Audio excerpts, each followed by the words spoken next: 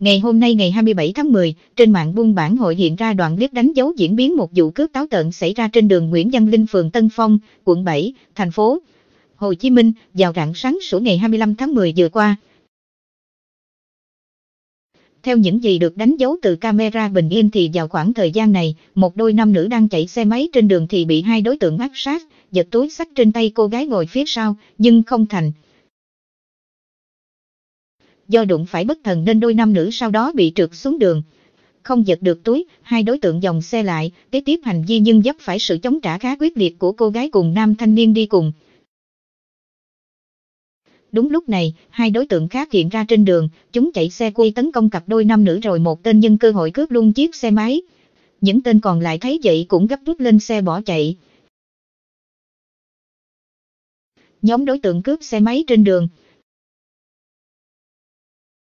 Ngày hôm nay, Công an quận 7 sau khi tiếp nhận thông tin đã tổ chức rà soát và xác định được hai nạn nhân vụ cướp đồng thời trích xuất camera bình yên truy xét nhóm đối tượng.